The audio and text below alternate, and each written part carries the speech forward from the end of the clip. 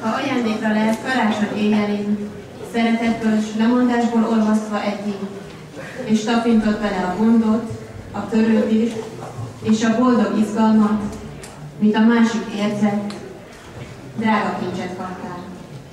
Az idő hordalékából nagy ritkán bukkant hasonló, s ha mégis, vigyázz rá, mint szemed világára. Kedves igazgatónő, igazgató úr, tanáraink és diáktársaink, ismét eltelt egy év.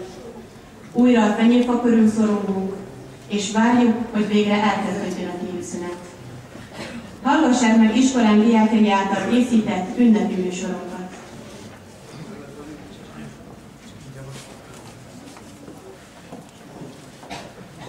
Kínálkozik egy ünnep, és ilyenkor az emberek nyitnak némi rést, szorosra zárt kagyóhéjukon, többségük ajándékoz, tehát odafigyel szeretteire, és ebből a figyelmességből juthat másoknak is.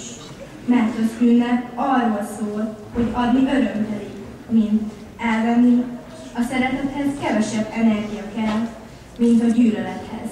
Aki ad, magát is jobbnak gondolja, részese lehet így az ünnep kegyeletének, még akkor is, ha nem vallásos. Tudod, karácsonykor az ember mindig hisz egy kicsi a csodákban. Nem csak te és én, hanem az egész világ, az emberiség, amint mondják, hiszen nem lehet csoda nélkül élni.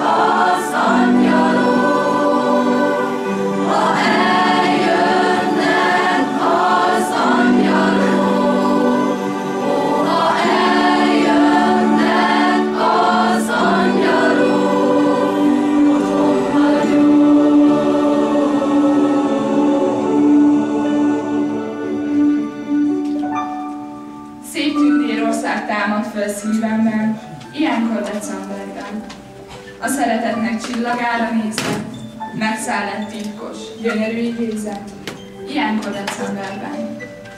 Bizalmas szívvel járom a világot, és amit az élet vágott, behegeztem a sebet a szívemben, és hiszek újra égi szeretetben, ilyenkor decemberben. És valahol csak kétkedő beszédet hallok, szomorú nézek. A kis Jézuska itt van a közelben. Legyünk hát jobbak, és higgyünk rendületlen, és ne csak így decemberben.